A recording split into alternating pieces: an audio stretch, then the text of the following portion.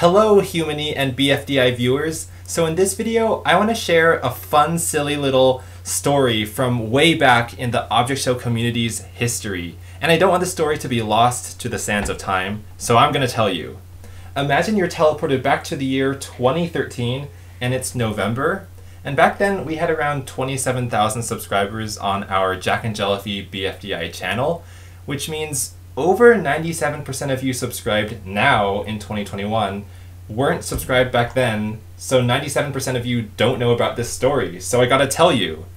Anyway, there's this other YouTube animator, Viva Reverie, I think they were previously known as I'm a Toon Link, that I've been a fan of for a while because they make crazy cool flash animations on the YouTubes, and they showed up in my recommendation feed sometime in 2012 or 13 because of their viral my Little Pony videos, and nowadays they make JoJo's Bizarre Adventure animation videos, which I think is super cool. Um, but a lot of it is also just like silly goofing off on the internet. Like obviously you can post pony videos that wouldn't show up on TV because they're just so silly. Anyway, I'm gonna play this one that went viral. And if you're an OG in the Object Show community, you know exactly what this is. This is super familiar. Okay, wait, let me restart. Anyway, I think this is their what do you call it? Pony Sona, basically talking about how spicy Maracha food is, and it's so spicy their mouth is on fire. And I think that original audio comes from some old kids show. So this is sort of like TikTok before TikTok, where you take someone some other random audio from like media like 20 years ago and you refresh it and you animate something new to it.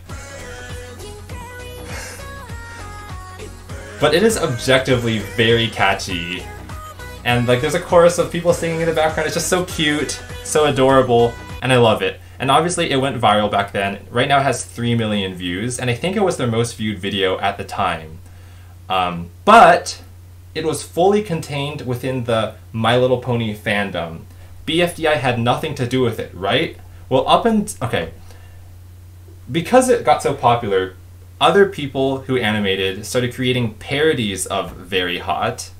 And at the beginning, those parodies just came from other people in the MLP fandom. Like, this is just another pony video, but in 3D now. So maybe it's made with Blender. Also, obviously, I'm not going to play through every single one, so if you want to watch them, go to the link in the description. And also, I don't even know if playing the music is going to get me copyright claimed, but hopefully not. Um, so it starts out with in the MLP fandom, and there's one with cats, I assume. Oh, but it's been privated, so I can't see anymore. But it's sort of Equestria Girls is also My Little Pony. And I want to point out that at the time in 2013, we had way fewer subscribers or any notability compared to Viva Reverie. So I thought like we were just a small fish in a huge pond. But then about 10 videos down, you know, we're still getting non BFDI videos, but the 11th video is BFDI. What is that? So one of the OGs, one of the, the most uh, prominent members of the Object Show community, CatYJ98, made this animation of his OC, Pistachio, singing the song with the spicy pepper. And I think this was the first time that the world of BFDI and the OSC got involved with Viva Reverie's Very Hot video, but after that, they just kept flooding in. So, okay, after BFDI, it, it goes back to some other fandom, which is Minecraft. And then it kind of like just randomly goes towards like different and different things. But then we get Inanimate Insanity. Who made this one? Oh, it's unavailable, so I'm not sure who. Um, and then we get Object Overload, which is made by Nile from Zany Leaves. So Nile is like still a super prominent member right now because because you know he voices two from TPOT, but he also was the runner of Troc, and he just makes Object Overload as well. So you know he's super well known, is super talented as an animator. But he also contributed to the OSC getting its feet wet in this very hot fad, like literally very hot fad and it has over 1.7 million views so like that's like half of, of this so that's pretty pretty good um, but what i want to point out is like if you know about bfdi and you watch the show and you watch other object shows this makes sense to you because like you know what it means to have these like black dot uh, face eyes and, and like black stick limbs on random objects. That's an object show. But imagine if you're not in the fandom and you start seeing all these other ones show up. Color Battle. Oh, that one's been privated. Um, to you, like these all start to look like clones of each other. Like you're not sure where they're coming from.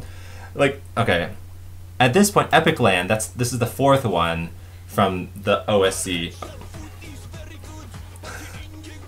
Interesting. I guess it's like subtly BFDI, but I can't quite tell. But you know, I appreciate the enthusiasm. But then by uh, this one, this is the fifth object show, and if you're not in the BFDI fandom, it just looks like you get the same black face, black not not black face, black dot eyes and like face and black stick arms on random objects. It seems totally random. Did it come from a content farm? Did it come from a like weird algorithm? Did it come from kids in sweatshops. Like we have no idea. Obviously, it came from you guys, you know, the enthusiastic animators. But it's so random, right? Like, what's the explanation? So this one is made by Ferrock, and it's Clash Within items. And it's 2013, that's seven years ago, of course, because they all, th this was a fad that lasted for like a couple months, so it's all gonna happen within the span of late 2013. This is uh, Challenge to Win is very hot from 100 DCX, one of the OGs as well. Oh my god, this is the most extreme fire that I've seen so far. Like, very aggressive burning. Oh my god. Anyway, you can see that like Viva Reverie has no idea what's going on. Like five, why there are five of these now? I don't even six, six, six. That's a seven. I can't even.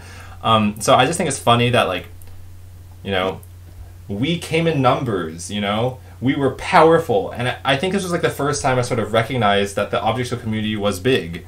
Well, not big, but um, like, you know, if you guys wanted to show enthusiasm for something, you just came gung ho, super powerful. Um, and so this is the seventh one, eighth, ninth, tenth. You guessed right. Object Mayhem. This is from TT Guy, another BFB animator and it has over a million views as well. So, um, just imagine like 10 things that almost look like clones from each other, but all from different YouTubers just coming out, you know, making parodies of your video. It's just so fascinating, right? Like, where are they coming from? So anyway, okay, so there's there's 10 of these. Okay, there's 11 of these. So Viva said, I don't know about you, I but I don't think we'll be hearing from anything else besides black arms, legs, black arms and legs and dot eyes on random objects anymore. Okay, so that, that was this one. Misunderstood. So this one's Object Havoc by In Interstellar Lizard, who's another BFB animator, so clearly a lot of ties, a lot of roots connect everyone together. I love the iPod. That's a throwback. And I love the buckets. Is this an iPod Shuffle? I, I forget what it was called. Tomorrow in my butt. I know that's not kid friendly. I mean, kids, you know you, you have a butt. Like, that's not a secret. Everyone has a butt. Anyway, um, okay, so after 11 in a row of just object shows, then it goes back to other fandoms. So we got Minions. Oh, great. Minions. People, Powerpuff Girls, something. Gmod.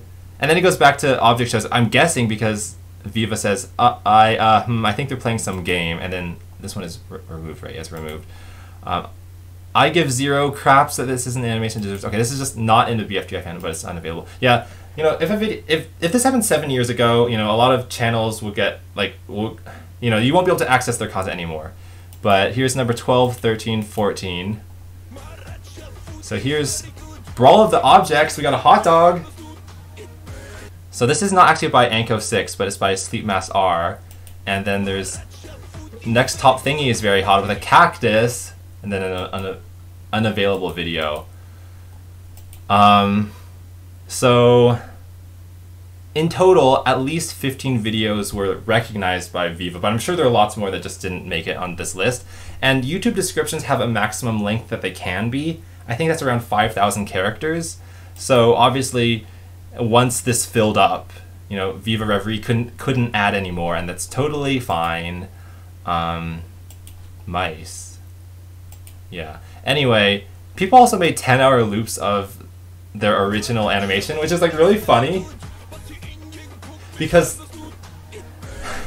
when any video gets to a certain level of popularity, someone is bound to make a 10 hour loop of it. It's happened to my own videos even. And so the fact that this exists, I think, is really funny and, and like is a testament to internet internet culture. Anyway, um, the rest of these are just like um, fan art and links. So that's all that really fit in the maximum description. But I think this is just a really cool thing to reminisce about. So yes, it has been a very long time since the fad happened, and I wanted to share it in case like if YouTube goes well if YouTube goes down this video would also this like this actual human video would also disappear but this is just a way of archiving the past making sure we don't forget if like Viva Reverie's channel gets deleted which I hope doesn't happen but if it did then like you still have like evidence that it existed at some point um, but I just think this was the very first time I realized that oh my gosh there's a lot of passionate animators in my community now because in 2011 and 2012, I had my eyes super glued to the BFDI fandom. I was like paying attention to every new object show that was coming out, which is why I knew about Inanimate Insanity, Fight for Feline Funds, Animation Island, Object Mayhem, Object Universe as soon as they came out, and I knew how many, you know, BFDI spin-offs there were. But by 2013, I entered my junior year of high school, and I got so busy with AP classes and honors classes, and maybe I also just grew up as a person. So I stopped checking YouTube as often, and so I kind of forgot, or I wasn't even aware that even more object shows were coming out. Coming out. So this was just a very nice, refreshing reminder that hey, Cary, there's at least 15 object shows now, and like most of them you're not even aware they exist, but here they are, and you should be proud that like they're really engaging with a different side of the internet, a different corner. We're connecting two nodes together. And I think it was just a good reminder of that. And it also helped me show, like help show to me that I think the engagement level of BFDI is so much higher than the rest of the internet. And by that I mean if you find okay, I don't want to like toot my own horn and I don't want to make sweeping generalizations, but I feel like most YouTubers if you find them with 27,000 subscribers or so, it would be hard to ask them to like find like 15 people or more to like willingly animate a full-on show that's like a derivative of your show in animation software like Flash and then, you know, swamp another YouTuber with their reaction videos. Like I just feel like, you know, that happens with big big YouTubers, but a YouTuber like a, a mid to small size YouTuber like us back then, it doesn't really happen unless you guys are just super passionate, super into it. Like your life is animation, and it was. So I, I want to say thank you. And also, if you're newer here, you know, any of the 970,000 who subscribed after, obviously, you could still make a very hot object show parody if you wanted to. I'll put the links to everything in the description. But you are seven years late, so I feel like like maybe it's not as fun because you're not really catching the wave and the excitement that happened back then. Um, but of course, you're free to, and um, yeah. So I, I like I want to know to everyone who showed up later. Did did you know that this happened? Like I wonder, does the object show old school people try to like educate or inform the new school people about its history or is it just like you you're only aware of what you come across after you join like i have no idea so i wanted to share this and one last thing i want to say is sometimes i think about what would an OSC Rewind look like? So you know how YouTube Rewind, they have one every year, and obviously they're very disliked. So um, we're not going to try to create a clone of that. But I wa- and I'm not I'm not ever going to promise or hope to create an OSC Rewind. But if there was like a video where we tried to, you know, include a compilation of every sort of fad that happened across the 12 year period, I think this would deserve at least a five second segment of that. Because um, for me, again, it, was like a, an awakening, a reminder that like these people are here, um, but also just like it was really fun and silly and yeah. Okay, well, I think that's all I have to say for this video. Thanks for watching. Links are in the description, of course. If, if I have any other thoughts, I'll add them in the description as well. And I will see you later. Bye, Human E viewers. Bye. Bye, bye, bye, bye, bye.